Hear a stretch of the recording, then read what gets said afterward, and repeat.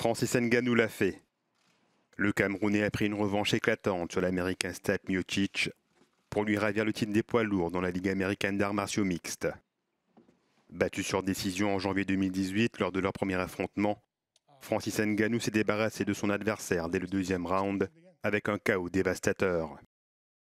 Après une série de coups de près et un gros jab du gauche, l'arbitre a été contraint d'arrêter le combat à la 52e seconde de la deuxième reprise, alors que l'Américain était en sang.